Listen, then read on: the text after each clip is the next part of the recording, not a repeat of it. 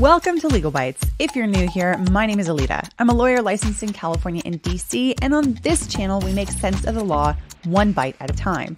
Whether it's live trials or splashy legal headlines, we are here for the facts in the law and no nonsense. Well, unless it comes from our furry four legged friends, of course. Here is where you bring your unique perspective to agree or disagree with other people, but please, always in a way that's civil and productive. After all, we're here to get to the bottom of the truth with a capital T, and the best way to do that, of course, is with healthy dialogue. So, if that's what you're looking for, jump on in. We would love to have you. Let's get started. All right. Hello, hello, everyone. Good morning, good afternoon, good evening. Happy Thursday. I had to double check. uh, it's one of those days. Um, but yes, happy Thursday. Hope you guys are having a great week so far. Hope things are going well. Um, things are taking an interesting turn in some spaces of the world. Um, to just dive right into the Kouri Richins uh, case topic. And also, this cat over here, you are just getting in the middle of everything, aren't you? Um, okay, you want to go over there? Fine, fine. Just stay off the laptop. Um, okay, so, um, yeah, so we've got we've got some some stuff to talk about in the Kouri Richins case. This is, as I've mentioned in my social media posts about this, this is my first my first time covering this case. I know it's been going on for a while. Um, you know, and, and other folks have covered it pretty extensively. I know I know Emily D. Baker's covered it. I'm pretty sure uh like LawyerYou Know has probably covered it too um you know ian runkle and and uh, law and lumber you know i'm sure i'm sure they have. Um but anyway uh this is my first time diving into it but i figure with this one uh we're going to go over a search warrant from almost a year ago and it's going to go over like the some of the the main details some of the main allegations in the case generally speaking. So you know anyone who's not familiar with this case if you haven't been following it from you know like tracking court TV or Law&Crime or you know or any of the other uh, people around LawTube that have been covering this case, um, you'll get you'll get brought up to speed in this video as well. So, um, okay, yeah, here we are. Um, good to see all of you guys here in the chat. Very happy to see folks that are here live, here on replay. If you're watching on on replay, hello, hello. Thank you for thank you in advance for liking the video, um, engaging in the chat, engaging in the comments, or if you're just lurking, that's wonderful too. Um, if you can like the video though, it does help. It really does help. Okay, folks. So let's get into it, shall we? If you're not familiar with this case, um, I figure a lot of people probably are, but just in case you're not, basic details here are um, I put them in the description of the video as well. But basic details are Kouri Richins is a mom of three, I think, um, who uh, lives in Utah. And she was living with her husband who died suddenly. Um, she says that she had had uh, made him a Moscow mule to celebrate the closing of a sale because she has a a uh, she has a, a, real estate company where she would buy and flip and sell homes um, around the area, and so she, I guess, had had made some sort of a, a big closing on the sale of a house. I think that they had purchased one. She had purchased one instead of sold it, but anyway, um, a purchase and sale.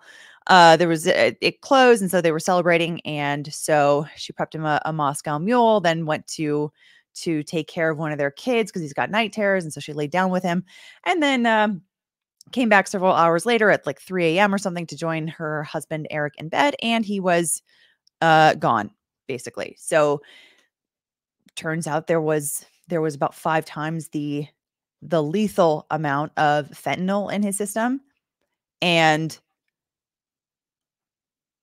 so now she's been charged with murder. So she's been charged with murder. Uh, the The allegation is that she had financial incentive uh, as her motive that um, they had been going through some problems. He had recently changed his his um, will and trust documents to not have her be the uh, the executor, trustee, or beneficiary. Is my understand understanding, I should say. Um, there was that. He also had had not had her on his um his life insurance policy. She changed his life insurance policy to make her the prime beneficiary. And um and so yeah, that, that's like what the what the what the main allegations are in this case is that she was financially motivated for all of this and that her business actually wasn't going all that well. That he was like trying to make moves on the side away from her to sort of like separate things out to like set things up for the kids and for him and you know and he also like there was another instance um in the past where he had he had communicated with his family member saying like I think she just tried to poison me with some kind of a sandwich that she had given him. And he was like, if I ever die suddenly, she needs to be investigated. So there's a lot here. There's a lot here that, that's just very suspicious about her anyway. Um, but what she argues, what the defense is arguing, is that this was an overdose, that he was doing drugs on the side, that he had gone down to Mexico and gotten some some drugs or something like that. And basically that's that's what the allegation is there from from the defense. Oh, and also, of course, Thank you for reminding me, Aussie J. Um, and wrote a book about children coping with grief. So after after he died, about I think it was about a year after he died, she came out with a children's book, basically, which she said was inspired to to help her sons cope with the grief of the loss of their father.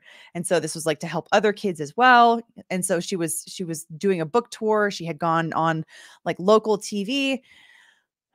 Um and you know was was promoting this book. 2 months later she was arrested and charged.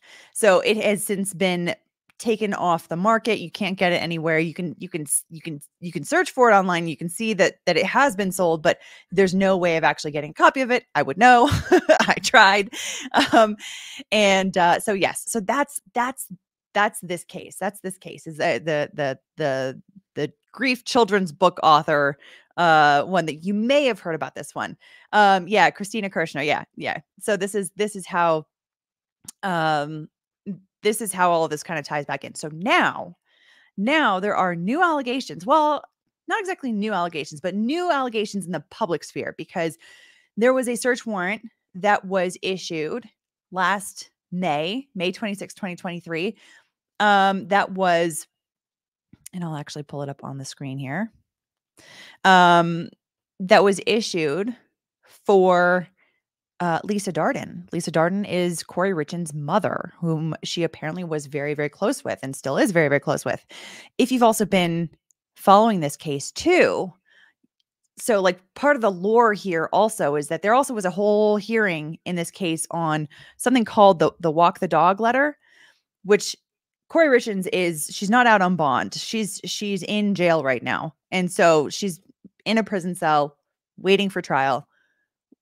Uh prison um prison officials found in her cell a handwritten letter that was to her mother.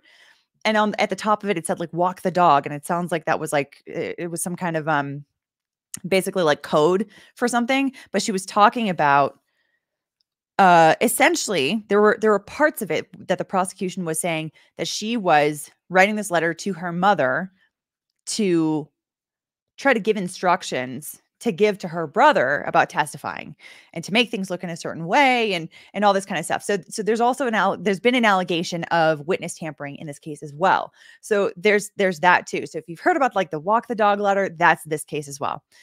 So they are very close, and the, the mother and the daughter, Kouri, Kouri the daughter, mother the le- Lisa the mother, Mama Lisa, we can call her. Um, so so they're they're very very close her mom has also gone on on TV with interviews for to basically defend her daughter. She very vigorously so.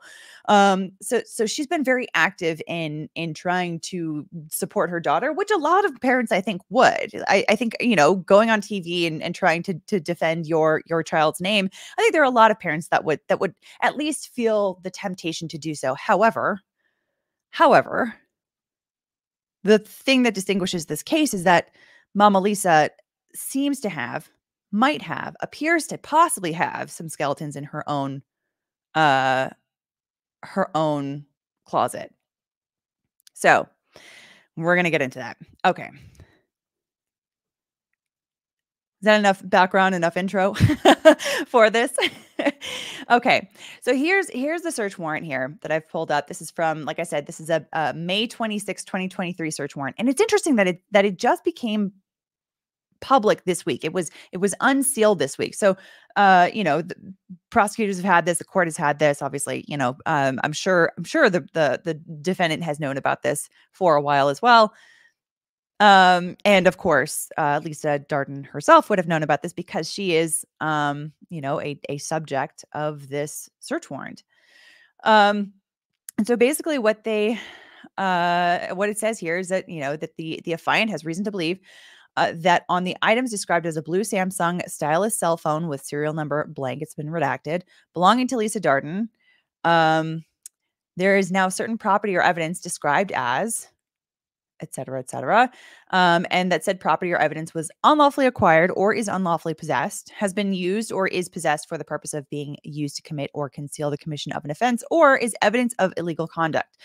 So I think this is probably what they're getting at here is the evidence of illegal conduct. So basically, what the allegation here is right from the top is that Mama Lisa's blue Samsung phone might have some information on it that shows that there's some sort of illegal activity. Whether that is illegal activity by Kouri or whether that is illegal activity by Mama Lisa is unclear, but they think that there is something there and that's why they're requesting to, the, the ability to search the phone. Now, of course, what they're what they're looking for is is they, they want to get into electronic documents, email, instant messaging, and text messages, personal communications, internet history, so any kind of browsing searches on the phone, personal and business schedules, photographs, images, and video, contacts lists and phone numbers, call history, GPS location history, social media activity and messages, all other digital activity stored on the device. So basically everything.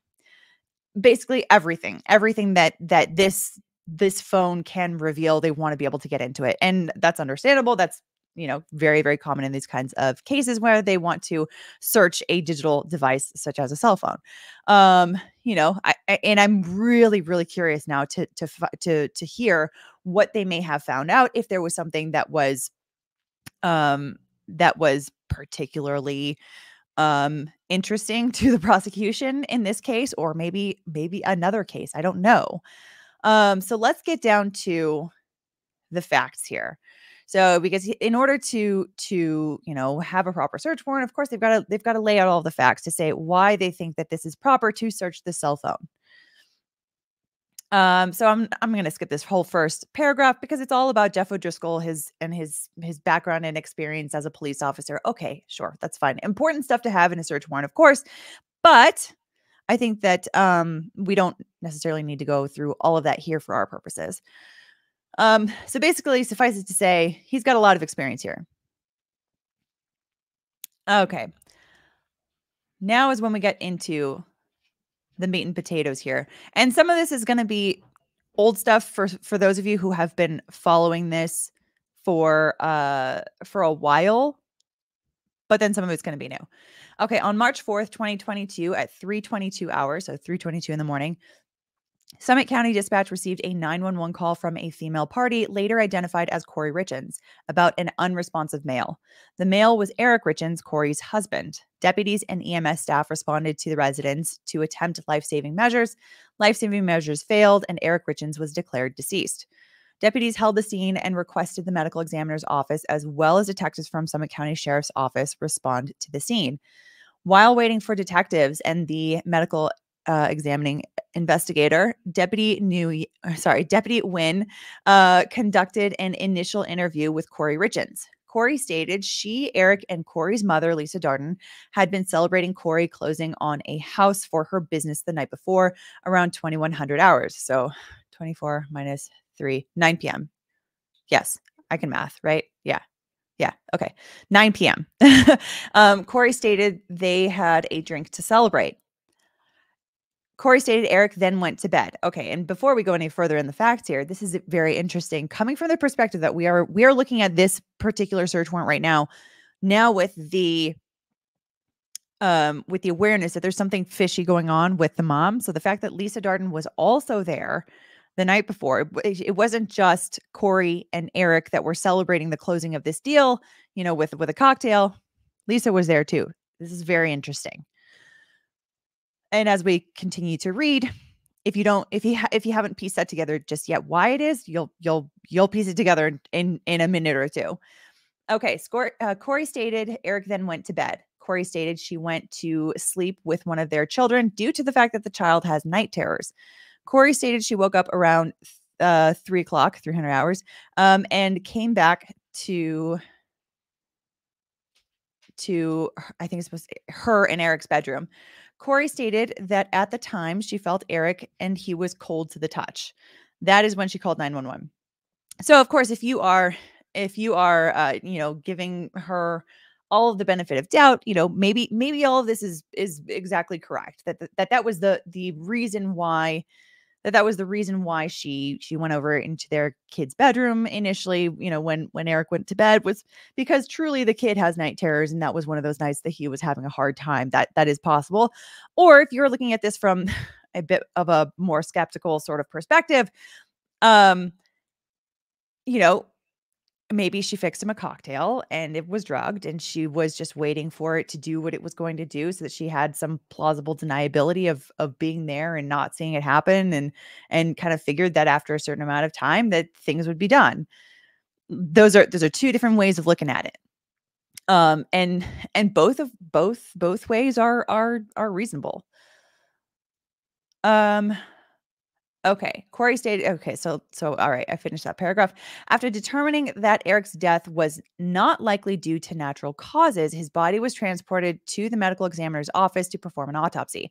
After approximately 3 weeks, toxicology findings from the autopsy were available. It was determined that Eric died from an overdose of fentanyl. When speaking to the medical examiner's office, the doctor indicated the level of fentanyl in Eric Richins' body was approximately 5 times the lethal dose. Five times. That's a lot. That is a lot.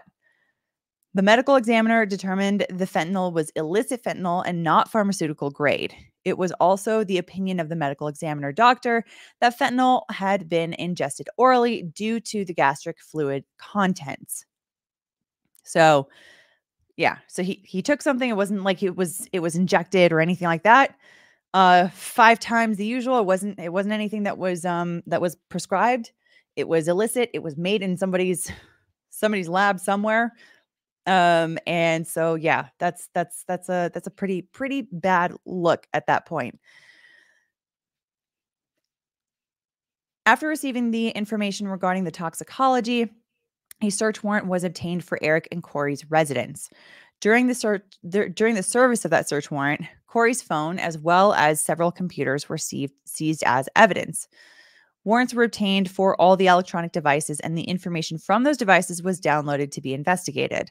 When investigators went through the information from Kouri's phone, it appeared several text messages around the time frame from March 1st through March 15th had been deleted. That's the time surrounding Eric's death. Yeah, it was March 4th was his death. Several communications between Kouri and Blank were located. So this is this is uh some names have been redacted here, and we're gonna get into a, a portion of the um of of the search warrant that is like heavily redacted because there are there are I think two people, maybe three, I think it's two people here that um that are being redacted for for some reason. But you guys, if you if you have been following this for a bit, you probably basically understand who who one one or or all of these people are, perhaps.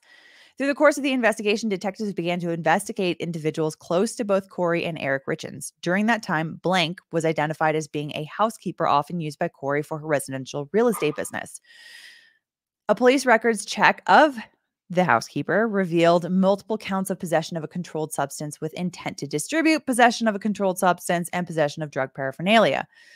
Um, housekeeper also charges of theft, DUI, burglary, and aggravated assault. Due to the fact the fentanyl discovered in Eric Richins was illicit fentanyl, it was plausible that this person was the source of the fentanyl. So this is this is the the the housekeeper of the Richins family, and um and this is this is someone who uh has and and they they do mention this later on in the search warrant, but this person also admits to the police that she supplied Kouri with with fentanyl. Um, so which the defense, you know, argues about this this confession, says that it's not a proper confession. There's like reasons why why she would have um why she would have confessed wrongly. Um and and and and more. I'm not certain if they have said that maybe Eric Richins got fentanyl from this person um or if they've if they've gone that far but for sure they have they have like disputed this this admission by the housekeeper um that that she supplied Kouri Richins with with the drugs. While conducting an investigation into this person blank was identified as an associate of housekeeper. Blank has a chemistry degree and had been previously charged in Heber County with clandestine clandestine lab charges for operating a methamphetamine lab. It was also learned that blank has a boyfriend named blank who is currently incarcerated at this place. So yeah, there's three people so far, three redacted people that are so that are that are named here. And so it gets a little bit convoluted here since they haven't like they've just redacted these without like giving a new identifier like person A, person B, person C, which would have been helpful, but that's okay. Um yeah, uh Jess Rubery. That's okay. So that is that is what I had initially thought was that they had they've tried to say he was a drug addict and got it in Mexico. There you go. Um so okay. After learning this information, detectives spoke to staff at the facility and requested phone calls blank made from March 1st through March 15th. Because remember, there are uh there are some there's some missing information from from Kouri's from Kouri's phone, some missing text messages between March 1st and March 15th.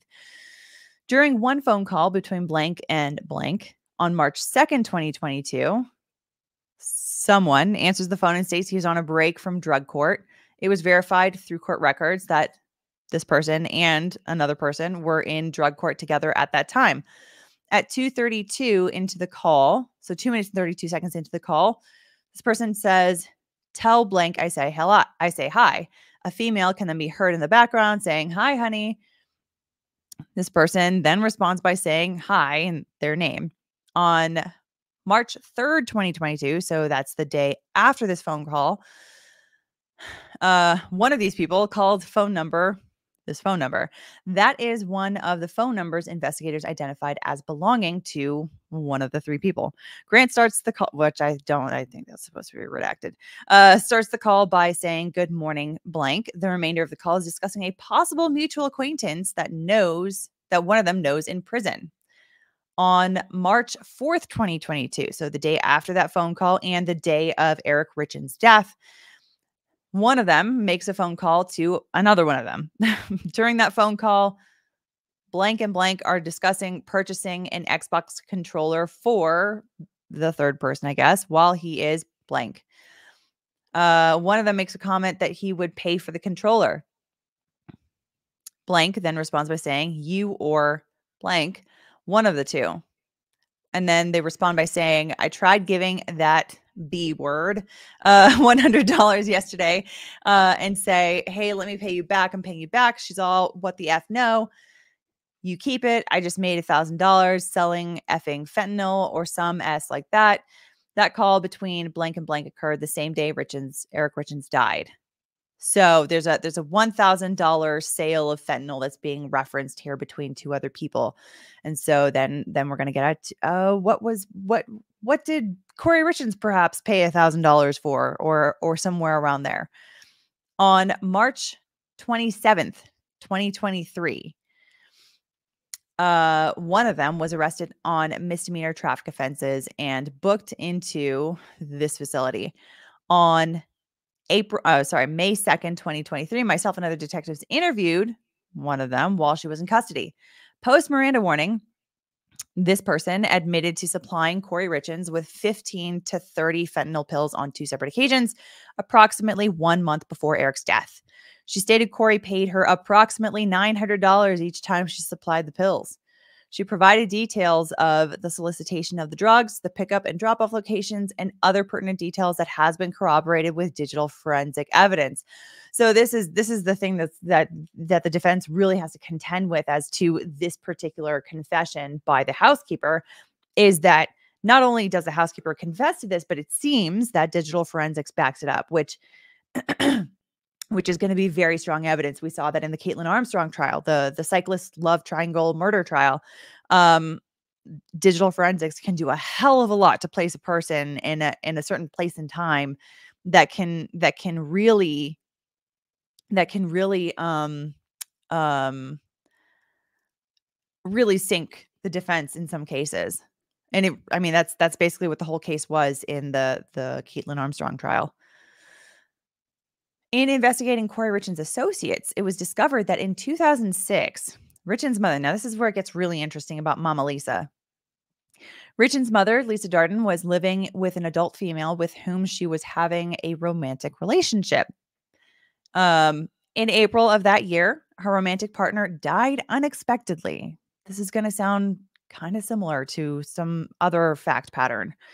An autopsy report of the female partner showed that her immediate cause of death was a drug poisoning from an overdose of oxycodone. Um, and so that is very, it's not fentanyl, but it's very similar. Um, oh, and also Scottish Jason, good point. A certain place or in a or in a range of area though. It depends on how how how densely populated that area is. If it is Austin, Texas, where there are a lot of cell sites, it can, it can get pretty damn precise.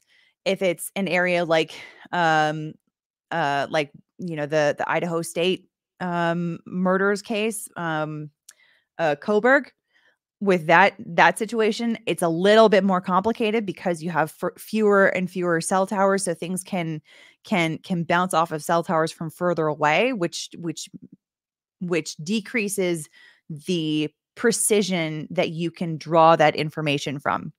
So, very good point. I'm glad you pointed that out. Okay.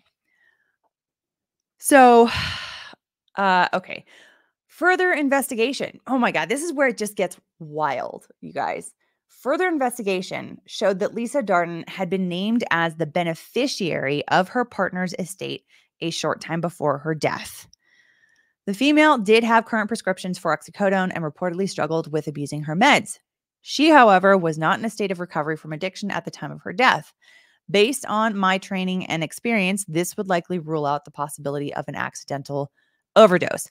There are there are I mean there's this is definitely like there's a little bit of of of argument here that the defense could definitely have on this um but there's a there's a lot of similarity here um, also, Debbie Faison Cook, thank you so much for being a member for 16 months, helping to support the channel, so we can we can do the things that we that we can do and and uh, focus focus the time and energy into this channel. I love it. Um, love this chat. Makes modding easy. Wonderful, wonderful. Love it. And thank you for being one of our one of our fantastic mods. Love the mods. Love the work that they do. Um, okay, so so this is this is very very interesting. So Mama Mama Lisa had been investigated in 2006 for the death of her romantic partner who died unexpectedly. And shortly before that happened, shortly before the the romantic partner died, she had she had been named as the beneficiary of her partner's estate. I don't know if she like what I what I really this is this is my this is this is my my my trust and estates litigation side like coming out like i want to put put that hat on. Is like i want to know how soon before it was like did she make herself into into a trustee or just a beneficiary? Was she there? Like what is the full analysis for for like did she unduly influence her um to make that decision? There's there's a number of there's a number of things that can happen that that immediately drive up the the suspicion level with somebody's testamentary documents being changed shortly before that person dies. Um I mean, usually what we would be looking for in like when I was doing trust and estates litigation is like okay, like the the time surrounding when this person changed their estate documents. Like did they like did they drive themselves to the to to to the let's assume that it was you know a law firm that helps them with it first off did they go by themselves if they if they didn't, were they driven by somebody else? If that person drove them, were they part of the meeting to talk about this, you know, with with the attorney, or did the attorney kind of pull this person aside and make sure that a they were competent to be able to to do this, and b this is what they actually wanted, that they weren't being unduly influenced by somebody else. There's a whole analysis that you can go through, and it also, by the way, includes other contextual cues of like this person's whole life, like were they were they particularly sick? Did, were they were they struggling? Were they relying on this other person for for a lot of um um for for like a lot of things for their for their everyday life? Um you know is this person who was a drug addict and this person and you know this the the the the beneficiary was somebody who was giving them help with all of this stuff like that can that can create a situation where someone may have been unduly influenced by this other person to basically give them everything over at the end of their life.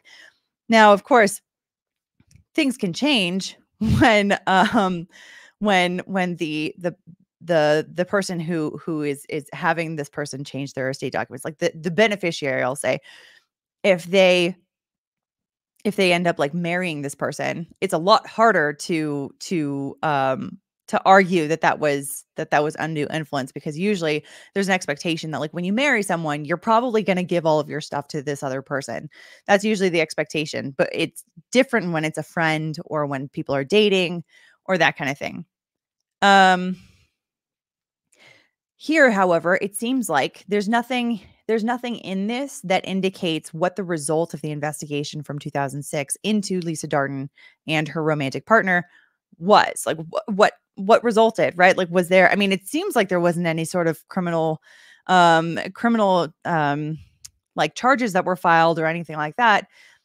So there's there's that. I also am curious to hear if there was some sort of a a fight over over this romantic partner's estate. Was there someone else who was supposed to take from it? Um another important analysis uh, or another important piece in the analysis here would have been also did Lisa Darden not just become a beneficiary of the estate documents, but did she also become a trustee? Meaning, did she did Lisa Darden end up being the one who who was in charge of administering the estate afterwards? Did she get control over that whole process? That's also important. Or was was control still in the hands of somebody else and she just got a minor minor piece of that estate? There's there's a there's there's there there are some details here that can make this look worse or better for Lisa Darden. And so I wanted to point all these things out so that we are looking at this because it definitely at first blush looks really really I mean even at second blush this still looks really pretty shocking and pretty wild, right? Because there's there's some odd similarities. So um it's very very interesting here. Um but you know, we still want to be making sure that we're pausing enough to ask the how many questions how many questions you know we can ask uh, uh, about this whole situation to see if if there's another way of looking at it before we we we go down too far down that down a particular path. Um so but i mean i will say this does look it looks i mean it looks really suspicious. It looks it looks this suspicious. Don't, don't be suspicious. Don't, be suspicious. Don't, be suspicious. Don't be suspicious. Don't be suspicious. Don't be suspicious. Don't be suspicious. Don't be suspicious. Jean-Ralphio? Gone to take his son So yeah, we, we've got some questions here. Um, okay, so let's let's continue. Let's continue on because um Okay, yeah, let's let's continue on. In reviewing forensic downloads of Kouri Richins' phone, it is clear she is very close with her mother and communicates with her almost daily, both for personal matters and in her business dealings. Uh, conversations have been found on Kouri's phone showing disdain for Eric on Lisa's part, which it can happen. I mean, it's not great when when in-laws are like, you know, not you know expressing expressing negative things about their their their son-in-law or daughter-in-law it's not great but it happens you know sometimes when when someone gripes to their parents about their spouse you know oftentimes spouses or the, the parents will will you know say things to support their kid and it happens but you know I, it doesn't look good here that's for sure Based on Lisa Darden's proximity to her partner's suspicious overdose death and her relationship with Kouri, it is possible she was involved in planning and orchestrating Eric's death. So what they are saying here is, I mean, it's not just like there's there's two ways of looking at this now, right? There are two ways of looking at this. Either one, Kouri was watching what happened with with with Mama Lisa and the um and uh and and her romantic partner and she saw okay this happened. She was investigated but nothing came of it because it just wasn't enough right? It's just it's just an overdose right? Like this this romantic partner had had a a uh had had a, a struggle with with abusing her her medication before. This is something that was prescribed to her but she you know had had had an um uh, a hard time with recovery from addiction but but I mean, as the state says, at that point, she wasn't in a state of recovery from addiction at the time of her death. I will say it is always possible for somebody at a moment's no- notice to to relapse suddenly. Um, so there's a there's a possibility either way. You know, looking at that, like I said, there's some room for argument by the defense. However, um, you know, like I said, there are two ways of looking at this. You can say that Kouri just saw what happened and was like, hmm, interesting. Maybe I can learn from this. Uh, maybe I can do something similar and you know what have you. Or you can also look at it and say as the state here or well the the police um here say very very clearly is it is possible she was involved in planning and orchestrating Eric's death. So meaning as as of this search warrant the state was definitely looking at mama lisa to see if there's anything that um that suggests that there was some sort of a conspiracy to to help uh kill Eric. If there are text messages, if there is GPS data that that corroborates certain things, um there's a there's a lot of ways that the police can can look for can look for for you know little little um little breadcrumbs if they can uh you know if they if they happen to match up with with other pieces of information like with the housekeeper or with you know places that kouri was or you know, there's a lot of different ways that they can line this stuff up with digital forensics on May 8th, 2023, detectives served a search warrant on Lisa Darden's house. A blue Samsung cell phone was recovered and identified as Lisa's current cell phone. I'm applying for a warrant to search the digital contents of that phone. So that is basically basically it. I mean, it's I'm it's very very interesting that this has been made public now. Um the timing of it is very interesting.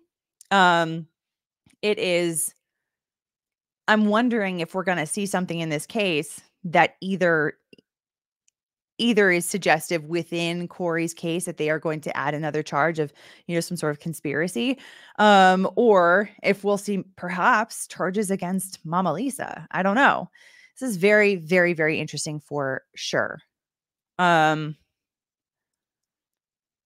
yeah, and also, I should point this out too. I I forgot to mention this earlier that as as to the the investigation in 2006 into the mom you can look at that in two ways. You can look at that and say, okay, she was investigated. They didn't find anything. It's because that's because there was no foul play. That's because this truly was an accident. That's because the woman that she loved, you know, overdosed because she she re- she relapsed one last time. Um and, you know, and that that therefore, you know, there was there was nothing nothing wrong, no harm, no foul. Um or you can look at that and say she got away with something you know, she intended to do something and she got away with it. Um either way, either way, it's it's very interesting in terms of the knowledge that that whole incident would have given to to Kouri and and moving forward with this. Um yeah. It's just it's very it's very interesting. So, this is this is yeah, like I said, this is going to be a really interesting um, case to keep watching and to see if there's going to be some more, some more, um, some more developments down this particular thread. Uh, Matthew Newton, interesting comment. It's much likelier that the girlfriend's death from fentanyl was accidental and that it gave Kouri the idea to do what she did rather than this being a second opioid murder in the same family. That honestly, either either one of those is an option. Um, and that's one of the reasons why it's very interesting to find out what the police did find from the search of Mama Lisa's phone. What were some of the communications between the two of them? Um, you know, did did you know, maybe that first one was in fact a tragedy. And maybe maybe it's also true that Lisa really didn't like Eric. And so she was willing to do whatever it took to to set up her daughter in a way that was, you know, good for the rest of her life and helped her out and all that kind of stuff. Um I don't know. That's that's that's also possible. Um so, like I said, digital forensics will will end up showing us a bit more on that one. All right, folks. I think that for me about does it. Um, let's see here. Indy's not in her usual chair. Um, but uh okay. All right, folks. So yeah, that was it. This is kind of a, a bit of a sh- shorter live stream as far as live streams go. Um, but uh, it, this has been uh, just this was just such a such a fascinating development that I really really wanted to go over this with you guys and just to talk about it and for sure to start talking about this case a lot more as as it develops um, in court in Utah and sort of progresses towards uh, towards trial. Um, and this is interesting, Scottish Jason. Timing of this makes me think state is wanting to keep this in news and evidence is not as strong. So they're looking to influence court of public opinion. Possible. Possible. It's definitely possible. Um,